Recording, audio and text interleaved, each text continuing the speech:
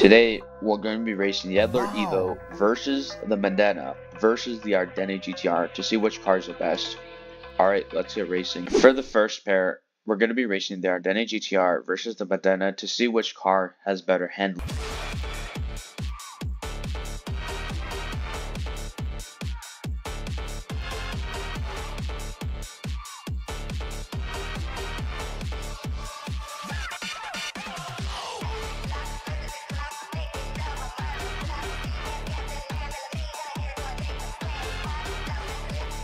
Alright, so the winner of the handling test goes to Modena with a low 54 seconds, while last place with the Ardente GTR getting a high 54 seconds.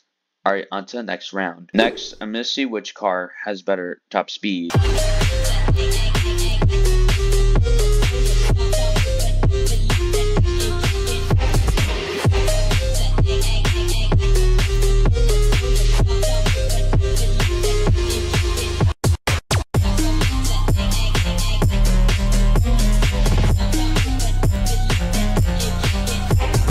So the winner of the top speed test goes to Modena with 53 seconds, while last place is the Ardente GTR getting 55 seconds.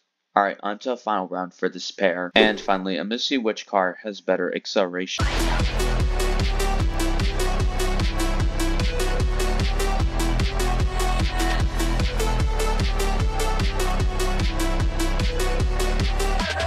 Alright, so the winner of the drag test goes to Modena with 11.6, while last place with the Ardente GTR getting 11.7.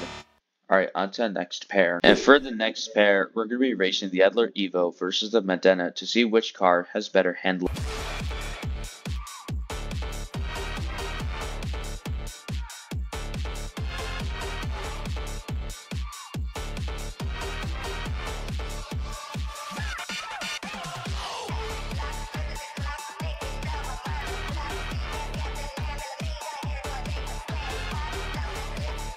Alright, so the winner of the handling test goes to Modena with low 54 seconds, while last place with the Edler Evo getting a high 54 seconds. Alright, on to the next round. Next, I'm going to see which car has better top speed.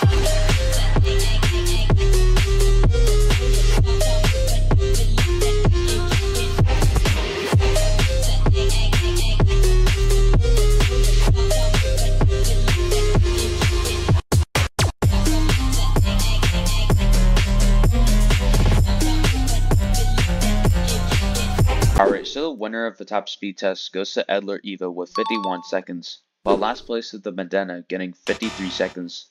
Alright, on to the final round for this pair. And finally, we're going to see which car has better acceleration.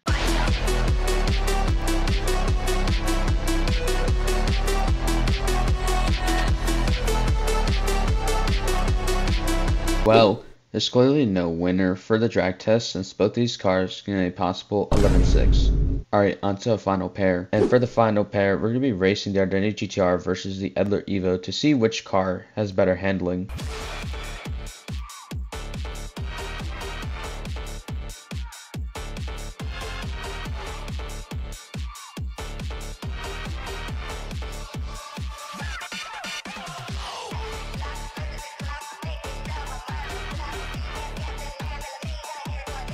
Well, there's clearly no winner for the handling test since both these cars can a high 54 seconds. Alright, on to the next round. Next, I'm to see which car has better top speed.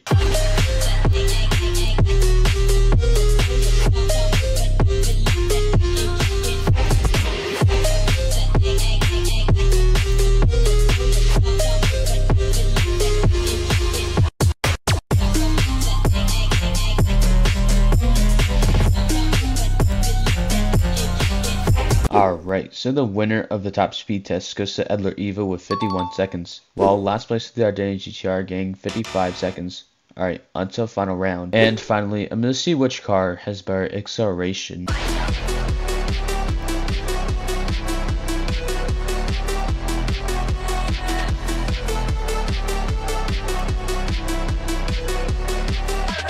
Alright, so the winner of the drag test goes to Edler Evo with 11.6, while last place is the Ardente GTR getting 11.7. So, who won overall?